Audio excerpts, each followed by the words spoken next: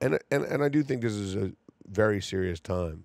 I'm not anti Christian or anti religion, but you know, if, if the the the way people are talking about Christianity and how this government should be governed by Christian ideals, and that we need to weed out those people that are examples of unchristian or uh, uh, you know or immoral behavior or uh, th- that's very dangerous language and it may seem like it's coming from a good place but that language can be exploited and it's a very dangerous language. And i and and and obviously people react when when this name is brought up. But if you look at old speeches from from people like Hitler or Idi Amin, Yeah. and they talk about for the greater good, for righteousness, for you know the to we have to, to fight ungodliness.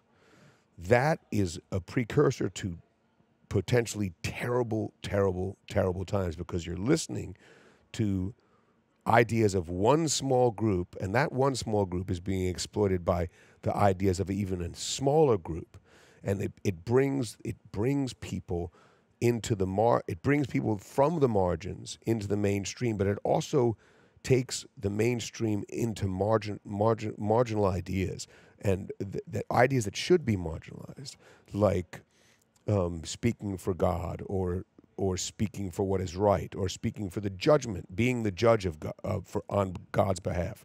It is those that those kind of that's terrible, terrible, terrible rhetoric, and it and it's terrifying to me because I it does it's these kind of things don't happen slowly. We have to be vigilant in this country to prevent ourselves from falling into the hands of people that will that will that will not allow it to come back without a much more desperate fight than the one we're having right now.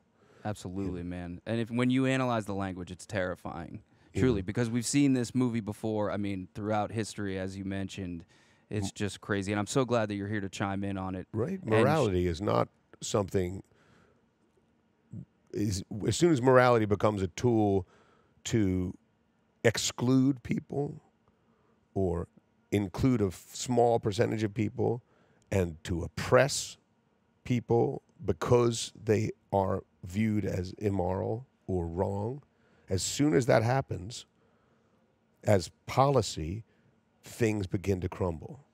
And you know unfortunately very often in those in those instances the people the minority the radicals the, that don't like to be called radicals are much more eager to do harm and much more eager to pull triggers and uh, commit violence. And it's just it's just something that we shouldn't we should do more than hope um, will go away. And even if it's our drowning hope we should do more with it than without it